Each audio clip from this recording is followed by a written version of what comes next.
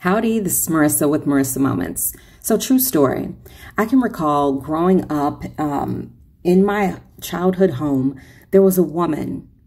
And this woman, she was an older woman with a bun, like an old style bun. And I can remember seeing her walking in the hallway. And um, it was it was almost like an afterthought, right? It was just an afterthought because I wasn't seeing it with my natural eyes. I was seeing it with my eyes, right? I was I was being called into the awareness of what was happening on a different plane beyond the veil. Now, mind you, I was very young and the people that I was surrounded by, they didn't know, you know. And and so whenever I would share anything or anyone that I saw, then it would either be categorized as an invisible friend or it was just one of my quirks, right? It's one of those things that Marisa says and it gets dismissed easily.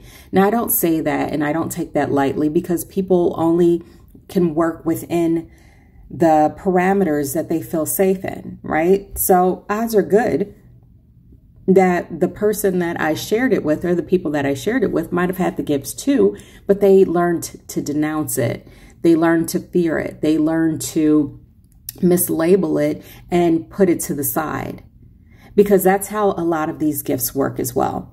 When we feel compelled to share our gifts with someone else, then nine times out of 10, they probably have that gift too.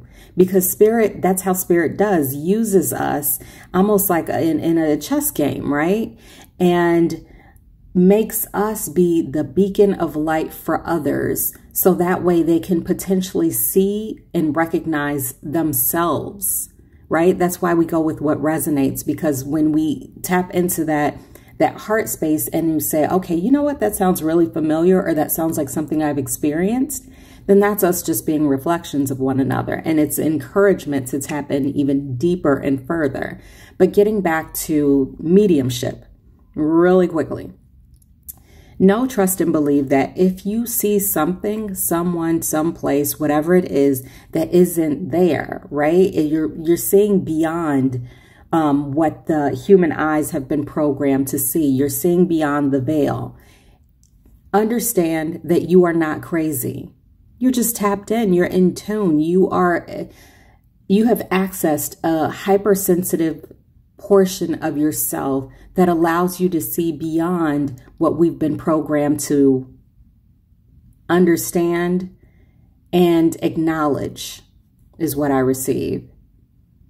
It's scary. It can be scary, but it's possible.